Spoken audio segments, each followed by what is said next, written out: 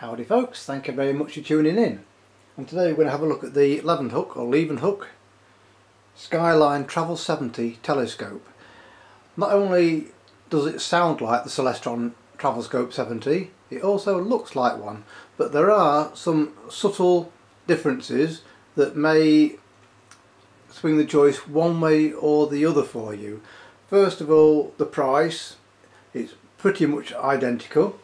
You get very similar backpack to carry everything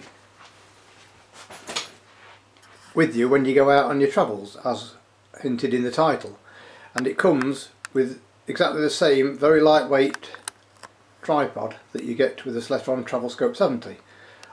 A lot is still said about this tripod, how it's quite flimsy, but I say the clue is in the title it's a travel scope. If it came with a big heavy tripod that would be much more difficult to lug around in the backpack so it's it's lightweight for a reason, it is a travel scope.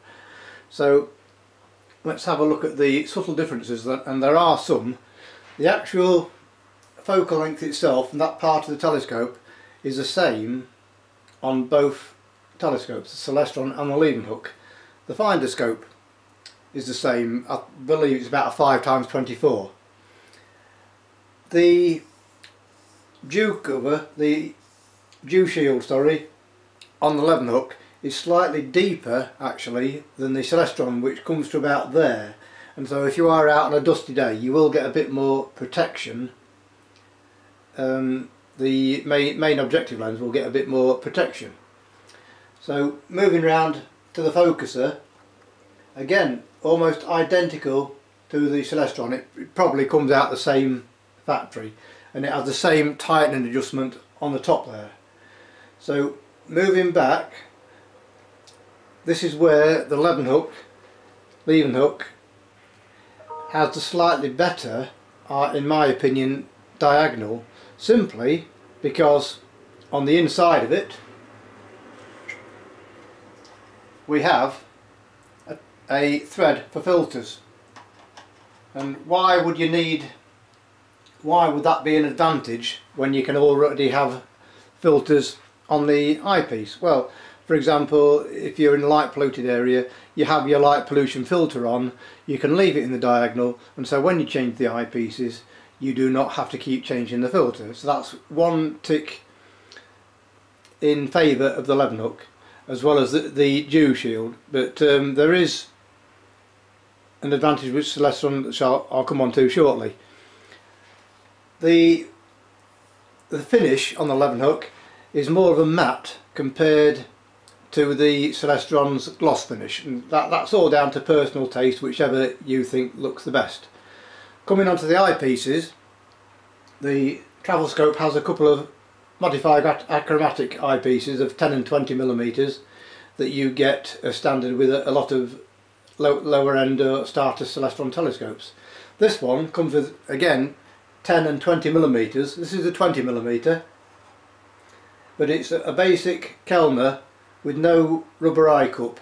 But I'm actually quite surprised how clear the image is th through that 20 millimeter in particular. Then you also have a 10 millimeter, which the goes from 20 magnification up to 40 times and the image does get a little bit softer there but still for the price pretty good.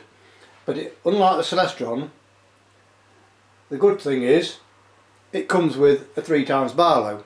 On the box it says that it, takes up to 140 magnification but my, by my, my calculation it's more 120 times magnification if you use with the 10 millimeter. What a shame they include a Barlow lens that doesn't work. The lens element is right down there and there's not enough inward travel to get focus. So it's, I'm afraid, unusable with or without the Barlow lens, that the three times Barlow you get with it. But when you buy from somebody like me, no problem, I, I, I will change the Barlow lens, where the lens itself is down at the front there and it works perfectly. So I, I will change myself the three times Barlow uh, when you purchase from us. So so far you know it de depends on what what um, think you is you think is an advantage and a disadvantage. But um, one plus side with the Celestron and a downside with this telescope is with a Celestron you have a T-thread there and you can screw your T-ring on and then that becomes a 400mm f5 telephoto lens. With the Levenhuk you need to buy an extra stepper ring because that is too narrow. And it's the same stepper ring that you would get with the Celestron Regal zoom eyepiece. So you just need another adapter ring if you want to put a T adapter, a T ring on there for astrophotography. So that, that's pretty much it. Very subtle differences between the Celestron Travel Scope and the Levenhuk Skyline Travel 70 very equal in price, very equal in performance. You I would say the finish is slightly better with Levenhuk you, the eyepieces are probably slightly better with the Celestron so you pay money and you take your choice. But two very good telescopes for the price for when you're out and about on your travels starting out in astronomy just general star sweeping or, or looking at wildlife uh, whether you're out and about at nature reserves or looking at birds in the back garden. So thank you very much for watching as always and please check out the links in the description below